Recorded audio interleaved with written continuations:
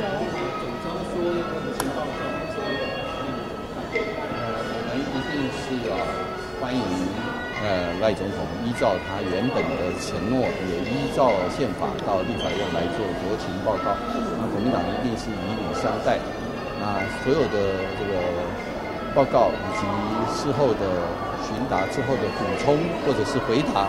我们希望呃赖总统能够发挥他的智慧，用最大的诚意来展现他对国情的所有的愿景，让全民能够了解。像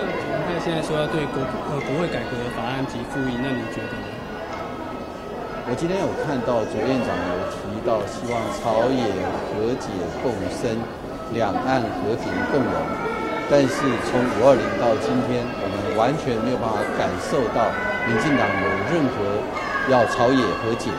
完完全是用攻击在野党、践踏在野党、侮辱在野党的方式，甚至想用少数来碾压多数，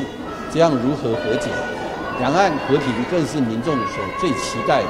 但是目前看到的是兵凶战危，两岸对抗的升级。我们这是全民所最担忧的，所以卓院长不要说口号而忘了真正能够促进和解、